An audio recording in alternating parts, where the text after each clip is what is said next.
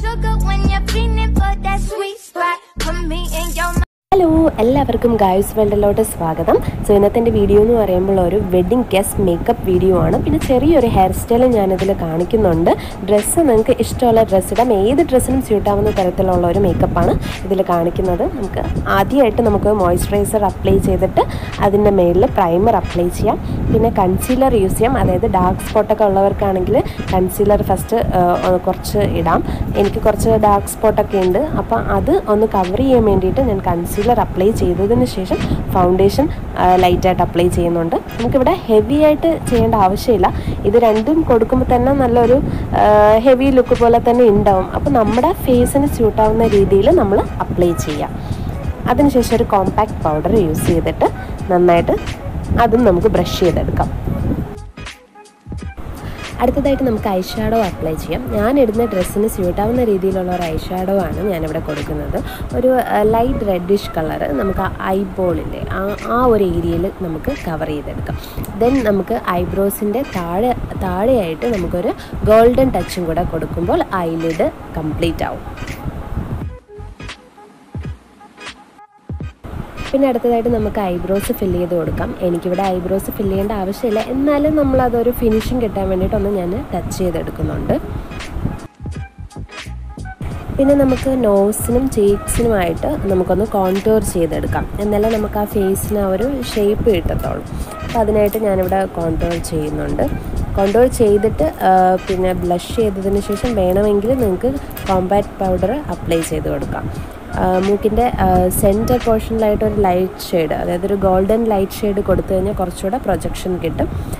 പിന്നെ നമുക്ക് റൂഷ് ചെയ്യാം ഓർ ബ്ലഷ് ചെയ്തെടുക്കാം.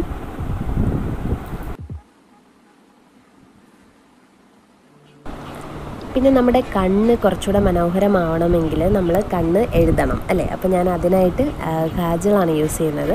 കാജൾ താഴെയും മേലെയും കാജൾ യൂസ് ചെയ്തുകൊണ്ട് തന്നെയാണ് എഴുതുന്നത്. അതിനുശേഷം നമുക്ക് ഒന്ന് ബ്രഷ് ചെയ്തെടുക്കാം. അപ്പോൾ നല്ലൊരു സ്മോക്കി എഫക്റ്റ് കിട്ടും. നല്ല കണ്ണിന് കാണാനൊരു പെർഫെക്ഷൻ ഉണ്ടാവുള്ളൂ. ഇതിന് ശേഷം നമുക്ക് വേണമെങ്കിൽ ഐലൈനർ യൂസ് ചെയ്ത് ഒന്ന് ലൈറ്റായിട്ട് വരച്ചു കൊടുക്കാം.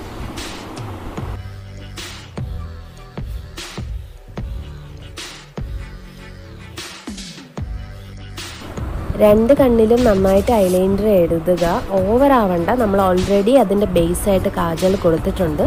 അപ്പോൾ അതിന്റെ മേലിൽ ഒന്ന് ലൈറ്റായിട്ട് എഴുതി കൊടുത്താൽ മതി. കോർണർ ഏരിയയിലെല്ലാം കറക്റ്റായിട്ടൊന്ന് ഫില്ല് ചെയ്തെടുക്കാം.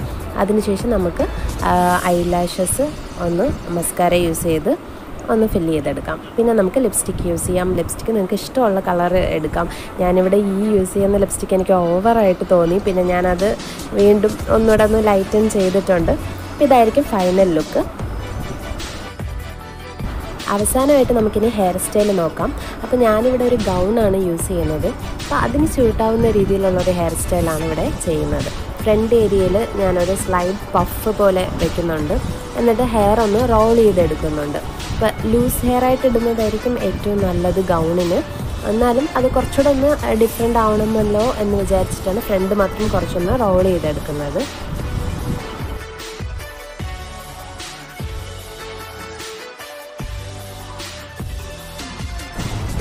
അപ്പോൾ ഹെയർ സ്റ്റൈൽ കഴിഞ്ഞിട്ടുണ്ട്. അപ്പോൾ ഞാനിനി ഡ്രസ്സൊക്കെ ഇട്ട് ലൈറ്റായിട്ടൊരു ഫ്ലവറൊക്കെ തലയിൽ വെച്ചിട്ട് വരാം.